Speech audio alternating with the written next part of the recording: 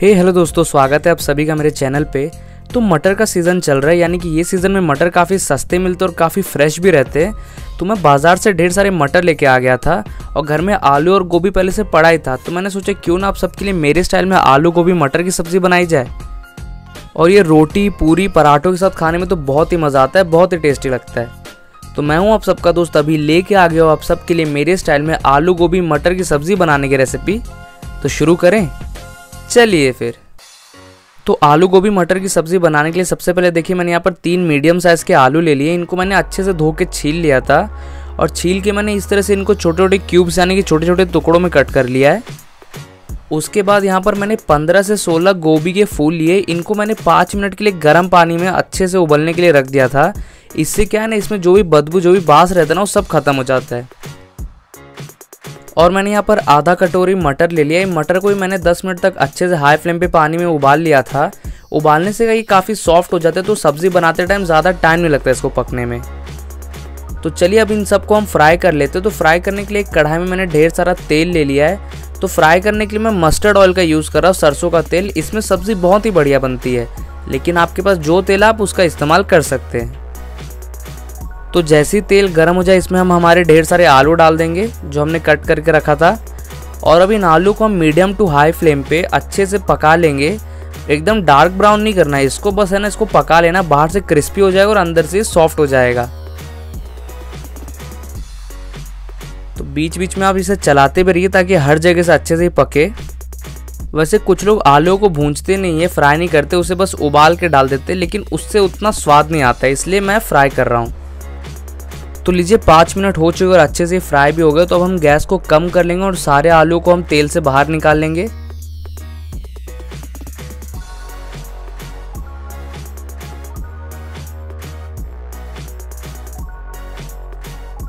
तो लीजिए सारे आलू हमने तेल से बाहर निकाल लिए। अब इसी तेल में हम सारे गोभी के फूल भी डाल देंगे। और इनको भी हम मीडियम टू हाई हीट पे पाँच मिनट के लिए अच्छे से फ्राई कर लेंगे। तो बीच बीच में इसे आप चलाते भी रहिए अच्छे से ताकि हर जगह से अच्छे से फ्राई हो जाए। तो लीजिए पाँच मिनट हो चुके और इस पर थोड़े थोड़े ब्राउन स्पॉट्स भी आने शुरू हो चुके हैं। इसका मतलब ये अच्छे से पक चुका अच्छे से फ्राई हो चुका है। तो अब हम गैस को कम कर देंगे और सारे गोभी के फूल को भी निकाल देंगे तेल से। तो लीजिए सारे गोभी के फूल को भी हमने फ्राई करके निकाल लिया है। तो अब हम क्या करेंगे कि इस कढ़ाई से सारा तेल निकाल देंगे। बस इसमें तीन बड़े चम्मच के आसपास तेल रहने देंगे और इसी तेल में हम एक छोटा चम्मच जीरा डाल देंगे। उसके बाद हम इसमें आधा छोटा चम्मच हींग डाल देंगे और इनको एक बार हम थोड़ा सा चला लेंगे, अच्छे से फूटने देंगे। तो जैसे जीरा फूटने लग जाए, इसमें हम एक हरी मिर्च डाल देंगे।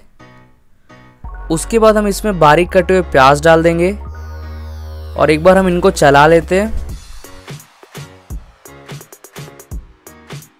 और प्याज को अच्छे से मिला लेने के बाद हम इसमें एक छोटा चम्मच जिंजर गार्लिक का पेस्ट यानी कि अदरक लहसुन का पेस्ट डाल देंगे। उसके बाद हम इनको दो मिनट तक मीडियम फ्लेम पर अच्छे से पका लेंगे।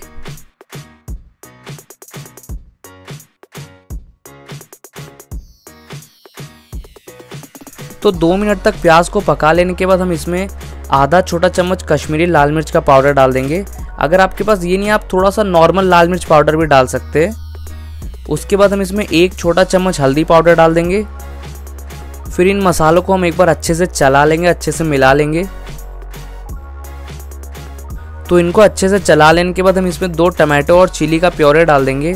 मैंने यहाँ पर दो टमाटर और दो हरी मिर्च को अच्छे से पीस लिया था, उसको ही हमने इसमें डाला है। अब इनको भी हम अच्छे से मिला देते हैं। तो लीजिए प्योरे भी अच्छे से मिल चुका है इसमें। तो अब हम इसमें स्वाद के अनुसार नमक डाल देंगे। नमक डालने से क्या ये थोड़ा जल्दी पकने लगेगा, इसका पकने का प्रोसेस फास्ट हो जाएगा। तो नमक डाल देने के बाद अब हम गैस के फ्लेम को हाई कर देंगे और इसको हम लगातार चला के पकाते रहेंगे जब तक सारा पानी सूख ना जाए इस प्योरे से। तो लीजिए, पानी सूखना शुरू भी हो चुका है। इसे हम लगातार चलाते ही रहेंगे जब तक ये पूरी तरह से ना सूख जाए। तो देखिए, सारा पानी सूख चुका है इस प्योरे में से। अब ये बढ़िया सा पेस्ट बन गया है, सूखा सा। तो अब हम गैस के फ्लेम को एकदम कम कर देंगे और इसमें हम एक बड़ा चम्मच धनिया पाउडर डाल देंगे। उसके बाद हम इसमें एक छोटा चम्मच जीरा पाउडर डाल देंगे। फिर एक बार हम इसे पेस्ट में अच्छे से मिला लेंगे, अच्छे से चला लेंगे इन मसालों को।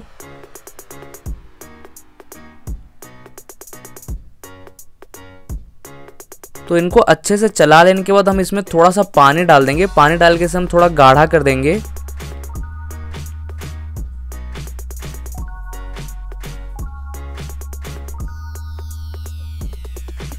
तो देखिए, बढ़िया गाढ़ा सा एकदम थिक पेस्ट बन चुका है। तो अब हम क्या करेंगे? सबसे पहले अपने जो मटर उबाल के रखे थे ना, हमने वो डाल देंगे इसमें और एक बार हम इसे अच्छे से मिला देंगे, अच्छे से चला देंगे।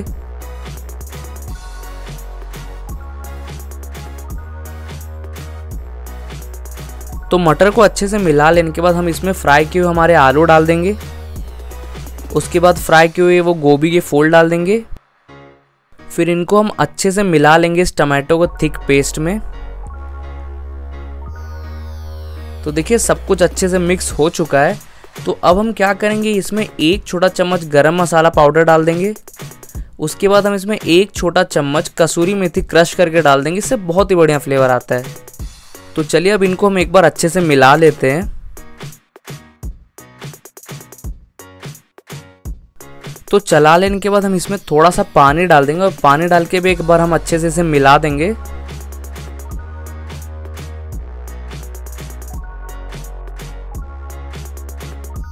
तो इनको अच्छे से मिला लेने के बाद हम गैस के फ्लेम को एकदम कम कर देंगे और इस सब्ज़ी को हम एक ढक्कन से ढक के 15 मिनट के लिए अच्छे से पकने देंगे। तो 15 मिनट हो चुका, अब हम ढक्कन को हटा लेते हैं। कितना बढ़िया स्मेल आ रहा है इस सब्ज़ी में से। लेकिन अभी रुक जाइए, अभी हम इसमें बारीक कटे हुए ताज़ा धनिया के पत्ते डाल देंगे। इससे और भी बढ़िया स्वाद आएगा, स्वाद बढ़ जाएगा और। उसके बाद हम इनको एक आखिरी बार मिला लेंगे अच्छे से, चला लेंगे। तो लीजिए, सब्ज़ी तो तैयार हो चुकी है, अब हम गैस को बंद कर देते हैं इसे हम गर्मा गर्म सर्व कर लेते हैं। तो ये लीजिए दोस्तों, हमारी बहुत ही टेस्टी आलू गोभी मटर की सब्ज़ी बनके तैयार हो चुकी है। आप भी इसी तरह से बनाइए, एंजॉय कीजिए इसे पूरी रोटी पराठों के साथ। और कमेंट करके ज़रूर बताइए आपको रेसिपी कैसी लगी। और हाँ वीडियो लाइक भी कर दीजिएगा, ताकि जब आप बना रहे हो, आपको कोई भी दिक्कत हो तो आप लाइक वीडियोज़ में जाके वीडियो देख सकते हैं। तो आप सबका बहुत बहुत धन्यवाद है वीडियो देखने के लिए। अरे रुके रुके जा कर रहे हो यार, नए आए हो चैनल पे। एक सब्सक्राइब तो बनता है ना। ठीक है, आप सब्सक्राइब कर देना। हम मिलते हैं अगले वीडियो में।